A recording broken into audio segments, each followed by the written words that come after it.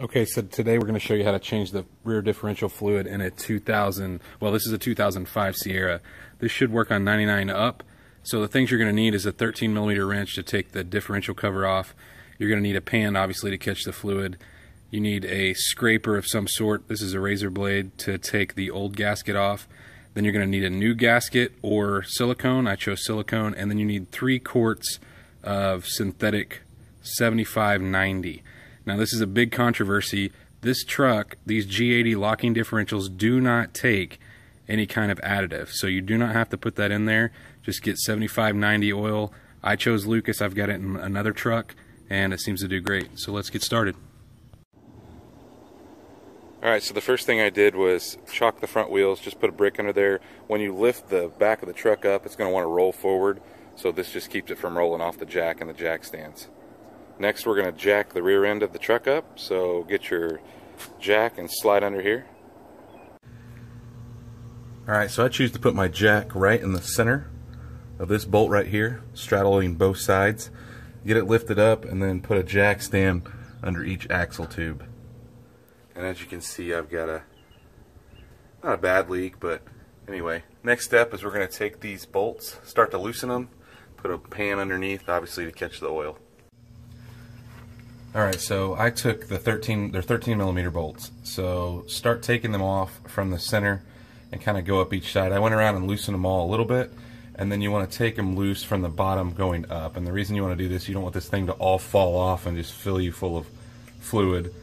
So if you take it off a little bit at a time, leave these top guys in, and then you can pry this out just a little bit. Don't bend it, but pry it out enough where the oil starts to fall once it gets drained out, then you can go ahead and remove the rest of them.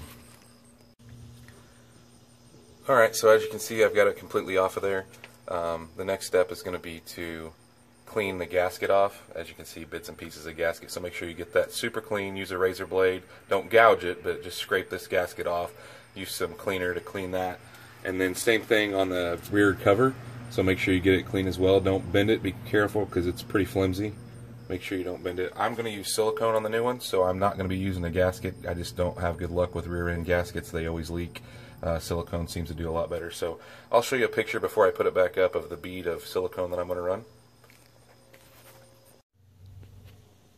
Alright, so I ran a bead of silicone all the way around the outside, around all the bolt holes. So now we're ready to put that thing back up in there. So when you do this, I cleaned off all the bolts, use a little bit of blue Loctite on the bolts and then hand thread them in. It helps if you have somebody to help you hold it, but if not, you can get it done. Alright, I threaded all these in after putting some Loctite on them, and I did it in a crisscross pattern. So I just hand snugged these with the ratchet. I went top, bottom, side, side, and so on, kind of like you put a wheel on. Anyway, so now I'm going to go back and torque these all to 30 pound-feet, and then we should be ready to put some oil in it. Alright, all of the rear cover bolts have been, now been torqued to 30 pound-feet.